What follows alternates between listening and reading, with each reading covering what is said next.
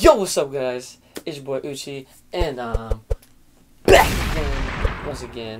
How y'all doing today? Really quick, I just want to update you guys on some cool new Switch accessories that I just got in the mail. And for those that are going to be playing Pokken Tournament in the coming months, Pokken Tournament DX, I should say, I am going to show you guys the most optimal way to play Pokken Tournament DX or any game coming in the future that you might want to try out on your Pokken Pro Pad. So without further ado, let's get right into it. I got two things out the mail. Number one, it is something that I had to give props and credit to my boy Alistair. He showed me what's up with this USB 3.1 Type-C to Type-A adapter. And this is actually going to plug in right into the bottom of your Switch so that way you can plug in your Poke controller and it works perfectly. I saw the man use it on Mario Kart 8 Deluxe. Kudos to that. This is actually going to come nifty. But if you realize, if you're trying to play on TV mode, how exactly are you going to use this and use that at the same time? Even if you're in handheld mode and you're trying to play on the kickstand or not, and you notice that you kind of can't put it on the kickstand if this thing is plugged at the bottom, I have a solution introducing the official Hori play stand. Now this actually has its own built-in stand and you can literally put the switch on there. I don't know if you guys can see it in the picture and it's literally, it levitates it up. Obviously there's a port open, the only port open right at the bottom. So let's open this jump for you guys.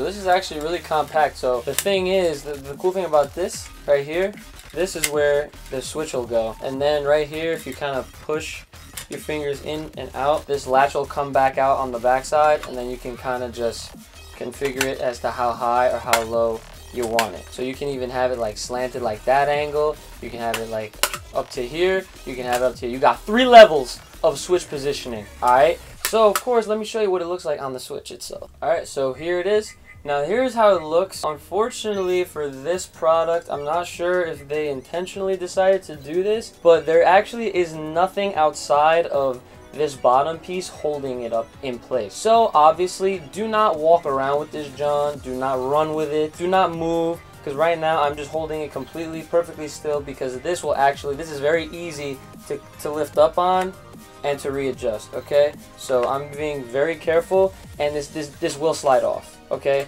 So once it's placed down, that's it. Don't freaking move it. That's it. Play your damn game and have fun. I mean, there is a little bit of a grip to it too. As you see, I'm shaking it back and forth like that. And then obviously, you got the space right there at the bottom so you could plug in the adapter so you could play your Pokken controller right on there. And I'm obviously gonna show you that too. Alright guys, so there you have it. So I got my whole new Switch contraption set up right now.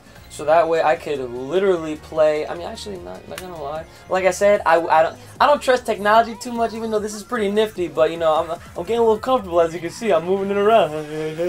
yeah, don't don't be doing that too much. Don't get too comfortable because you know, just you just never know. But again, it does have a nice grip to the backing of it. It is holding it in place really nicely at the bottom. So I will give this a pass and Uch approval. This product is actually worth. Yeah, I'll put the links in the description if you guys are interested in buying this for yourself. So that way, when you're on the go and you're trying to play Pokken with your controller, and you might want to try playing it with your John right here, like this, in dock mode, this is the ultimate way to play Pokken Tournament DX or any other games that you might want to use your Pokken controller with. So if you guys like the video, please like, share, subscribe, hit me up on Twitter, tell me all about or ask me any questions about this product. Hit me up on Discord too, especially on Discord, and I'll see you guys next time.